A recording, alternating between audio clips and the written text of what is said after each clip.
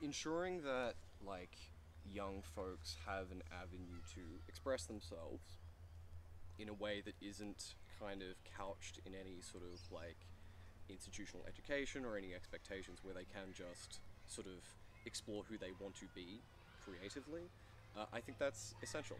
You know, there's not there's not a lot of avenues for young folks uh, to like find their voice, and I think especially you know as they they grow up and they especially through like high school we'll hear about all these classic authors who you know uh, have their developed voices and context and yada yada yada. It's really important for them to be able to be like this is who i am and this is what i want to talk about.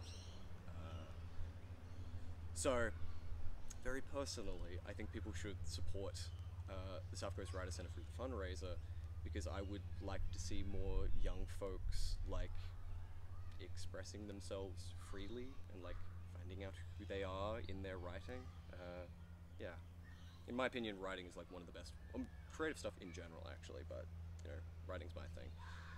Writing is a great way to like figure out what kind of person you want to be and like kind of work through stuff. It's it's just a you know it's it's um it's therapy with like without the sort of uh, without the, the price tag necessarily. Requires a bit more time, but it's yeah.